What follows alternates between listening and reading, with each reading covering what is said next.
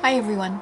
So recently my sister purchased a couch and unfortunately it was leather of all things. And when I asked her why she had done such a horrible thing, she said that she felt she had done no harm, that the leather was just part of the a byproduct of the meat industry, a leftover. And so it was going to be thrown out, so she felt like she was sort of recycling. And I think this is a pretty common misconception, but nothing could be further from the truth. The leather industry actually supports the meat industry because it's a much more lucrative business. That would explain those 99 cent hamburgers. So sometimes the leather is um, actually supporting the veal industry because calf skin is very valued. Um, when you buy a leather product, you have no clue where that product has been sourced.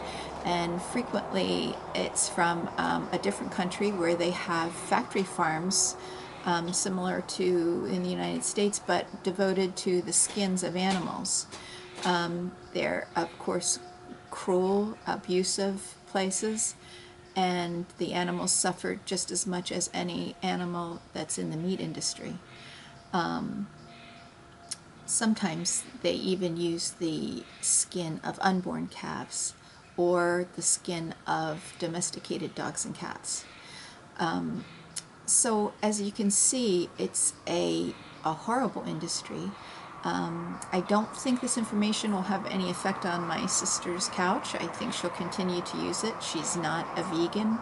Um, but I hope it can help somebody else who might be looking to purchase some sort of item and these days it's really easy to get an alternative to a leather product. It's um, a lot of shoes, vegan shoes, wallets, belts, handbags, everything.